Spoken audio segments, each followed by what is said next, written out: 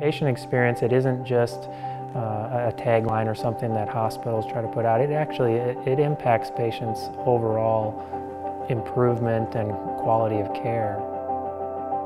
When my neighbor recommended Dr. O'Neill with the confidence that she did, that made me feel good right away. Uh, and then coming in here and meeting Dr. O'Neill, I love the fact that he's a brilliant surgeon, but he is also down to earth and he connects with you on a, on a good person to person level. I love that. So I see patients with all types of spine conditions, from the neck, from the back, cervical spine, lumbar spine, all different diagnoses. But the reality is most patients, they have no idea what their diagnosis is coming in the door.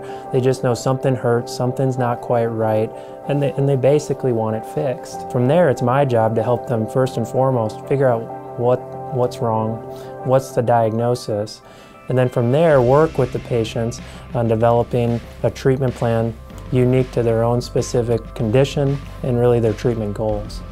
My day after work is very typical. I'll come home and it's uh, immediately right into the tornado of kid activities uh, from whatever games they're playing or whatever homework they need help with and then goes from there to dinner. Usually after that it's sort of back to work and looking through things for the next day or uh, updating, reading research and things like that. It's not always what you'd think. Sometimes you have to dig a little deeper to understand what they're really after, what are their goals, what things do they want to do or accomplish uh, by seeking treatment with you.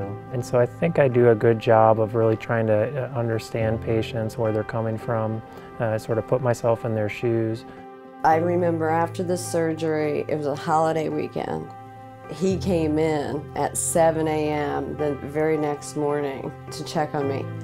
And once again, I've never met a surgeon that has his bedside manner and actually treats you with kindness and makes you feel like you have all the time in the world when you're with him. But I really can't say enough good things about him. I was nervous about surgery. You came in the room and you're like, hey Sean, couple hours, this pain's gonna be gone. And when I woke up, it was like I got up out of bed, I had no more pain.